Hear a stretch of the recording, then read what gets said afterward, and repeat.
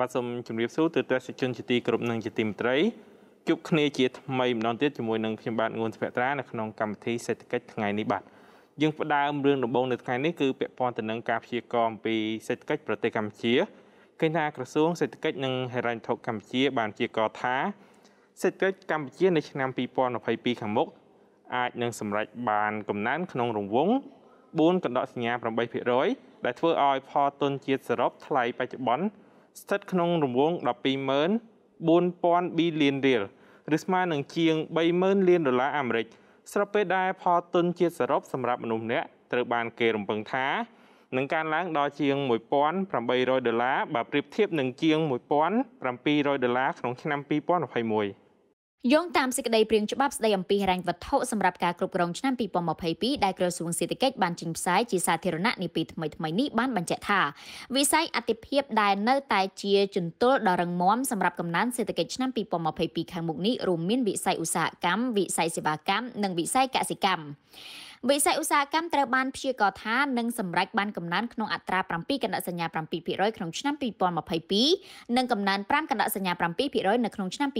2021ដោយសារតែការរំពឹងទុកកំណើនល្អប្រសើរនៃអនុវិស័យកាត់ដេរនិងកម្មនសាលមិនមែនកាត់ដេរខណៈដែលអនុវិស័យសំណង់ត្រូវបានរំពឹងថានៅបន្តសម្រេចបានកំណើនទៀតអនុវិស័យកាត់ដេរត្រូវបានរំពឹងថានឹងបន្តកើនឡើងដោយសារតែរំពឹងទុកភាពល្អប្រសើរនៃតម្រូវការខាងក្រៅជាពិសេសទីផ្សារសហរដ្ឋអាមេរិកនិងចិនស្របជាមួយនឹងការរំពឹងទុកការបង្វែររោងចក្រពីប្រទេសមីយ៉ាន់ម៉ាគូផ្សំនឹងការដាក់ចេញនូវយុទ្ធសាស្ត្រអភិវឌ្ឍវិស័យកាត់ដេរផលិតស្បែកជើងនិងកាបូបកម្ពុជាឆ្នាំ2021-2025ជាមួយនឹងគ្នានេះអនុវិស័យកាត់ដេរក៏ត្រូវបានរំពឹងដែរថានឹងអាចជួបប្រទះនូវហានិភ័យមួយចំនួនជាពិសេសការបន្តរីករាលដាលនៃជំងឺ Covid-19 និងការផ្ទុះជាទ្រង់ទ្រាយធំក្នុងរោងចក្រដែលអាចបណ្ដាលឲ្យប៉ះពាល់ដល់សកម្មភាពផលិតកម្មនិងការផ្គត់ផ្គង់បើទោះបីជាតម្រូវការខាងក្រៅនៅតែបន្តមានភាពល្អប្រសើរយ៉ាងណាក្តី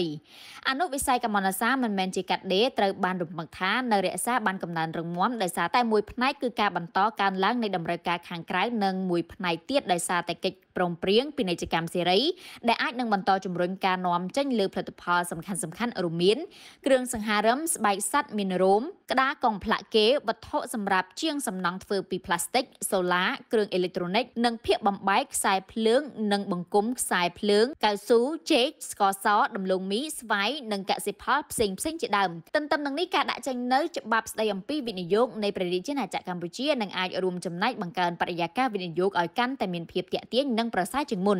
ដែលឡែកអនុវិស័យសំណង់ត្រូវបានរំពឹងថានឹងបន្តងើបក្នុងល្បឿនយឺតដោយសារតែការរំពឹងទុកងើបឡើងវិញសន្សឹមសន្សឹមត្រូវទុកចិត្តវិនិយោគនិងលំហូរទុនវិនិយោគជាពិសេសសកម្មភាពសំណង់បម្រើឲ្យវិស័យទេសចរនិងពាណិជ្ជកម្មស្របពេលដែលសកម្មភាពសំណង់លំនៅស្ថានក៏ត្រូវបានរំពឹងថានៅបន្តរក្សាកំណើនប៉ុន្តែស្ថិតក្នុងកម្រិតទាបចំណែកវិស័យសេវាកម្មឯណូវិញត្រូវបានព្យាករណ៍ថានឹងបន្តកើនឡើងក្នុងអត្រា4កណ្ដកសញ្ញា1%ក្នុងឆ្នាំ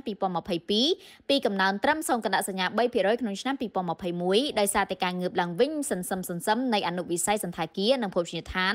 និងវិស័យគ្រប់គ្រងទេសចរផ្សេងផ្សេងទៀតអនុវិស័យសន្តាគារនិងភោជនីយដ្ឋានត្រូវបានរំពឹងថានឹងងើបឡើងវិញប៉ុន្តែស្ថិតក្នុងកម្រិតទាប ទាំងទំហំនិងអត្រាកំណើនដោយសារតែការរំពឹងទុកការងើបឡើងវិញក្នុងល្បឿនយឺតនៃភ្ញៀវទេសចរអន្តរជាតិខណៈដែលចំនួនភ្ញៀវទេសចរជាតិត្រូវបានរំពឹងថានឹងងើបឡើងវិញក្នុងសន្ទុះលឿន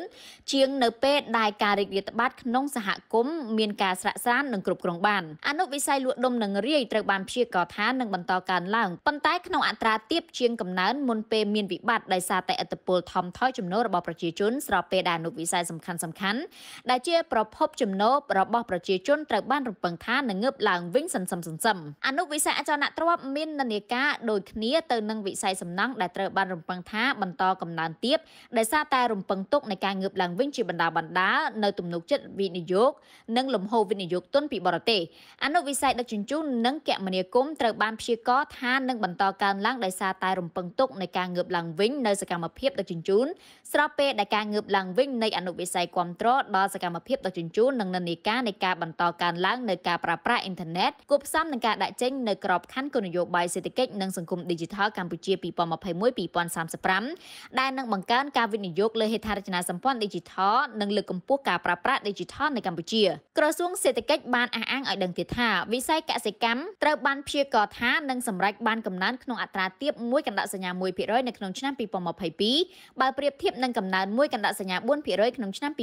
2021ដោយសារតែការរំពឹងទុកនៃការបន្តកំណើនល្អប្រសើរនៃអនុវិស័យដំណាំនិងអនុវិស័យចិញ្ចឹមសត្វអនុវិស័យដំណាំត្រូវបានរំពឹងថានឹងនៅតែបន្តកំណើនល្អប្រសើរដោយសារតែការរំពឹងទុកកំណើនល្អប្រសើរនៃការនាំចេញផលិតផលកសិកម្មជាពិសេសដំណាំរួមផ្សំនិងឧស្សាហកម្មដែលនឹងបន្តជំរុញដោយកិច្ចព្រមព្រៀងពាណិជ្ជកម្មសេរីគូផ្សំជាមួយនឹងការបង្កើនការវិនិយោគរបស់រាជរដ្ឋាភិបាលជាពិសេសការផ្ដល់ហិរញ្ញប្បទានក្នុងការជំរុញផលិតកម្មក្នុងស្រុកអនុវិស័យចិញ្ចឹមសត្វត្រូវបានរំពឹងថានឹងនៅបន្តរក្សាកំណើនខ្ពស់ដោយសារតែការរំពឹងទុកការបន្តកើនឡើងនៃផលិតកម្មជ្រូកគួបផ្សំនឹងវិធានការអន្តរាគមរបស់រាជរដ្ឋាភិបាលនិងការអនុវត្តគម្រោងរបស់ដៃគូអភិវឌ្ឍនានាដែលឡែកអនុវិស័យនេសាទត្រូវបានរំពឹងថានឹងមានកំណើនថមថយធៀបនឹងឆ្នាំ2021ដោយសារតែការរំពឹងទុកការថមថយផលិតកម្មវារីវប្បកម្មក៏ដូចជាភាពលំបាកក្នុងការចូលមកកាន់ទីផ្សារផ្គត់ផ្គង់។